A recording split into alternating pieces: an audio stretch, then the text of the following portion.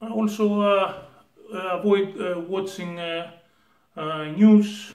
Most of the news either from internet or from TV. it's nothing other than propaganda which is supported by the international elite.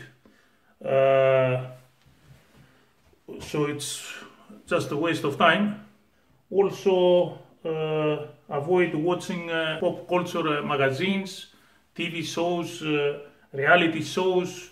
So, uh, I mean, the only thing you will see there, it's common prostitutes and idiots pretending to be TV personas, actors, singers, or whatever else they can claim.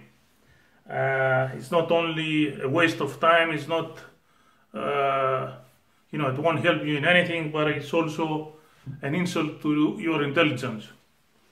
And uh, finally, uh, avoid watching uh, uh, violent movies, specifically, you know, movies that involve war, because there also you will see self-proclaimed heroes and patriots that they never participated in any war.